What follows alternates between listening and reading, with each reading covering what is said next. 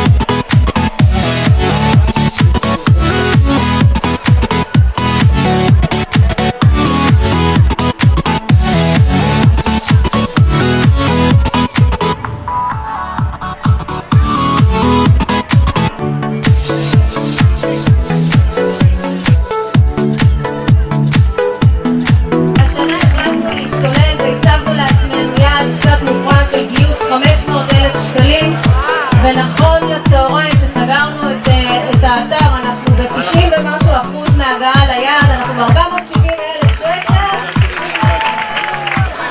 את ערוץ החברים ייסד לפני שבע שנים.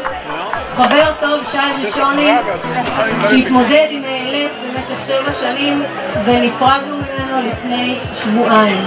שי חרט על דגלו ועל דגל העמותה שהוא היה בראשה פרס לחיים את הניצחון כאורח חיים ולהפוך את הבלתי אפשרי לאפשרי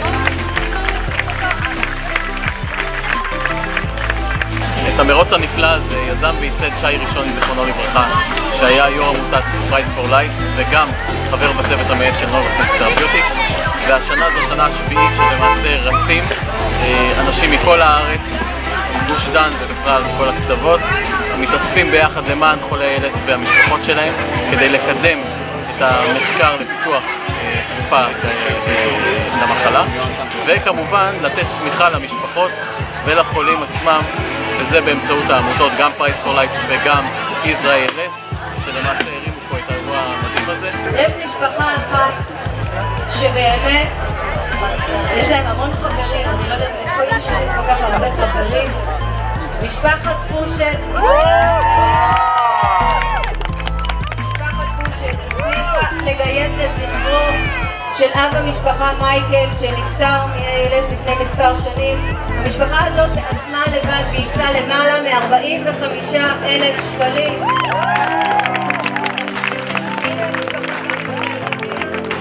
היי, אני אביטל, אה, זאת אימא שלי, ליז. אה, אני עובדת בנוירוסנס, אנחנו חברה שמפתחת תרופה ל-ALS.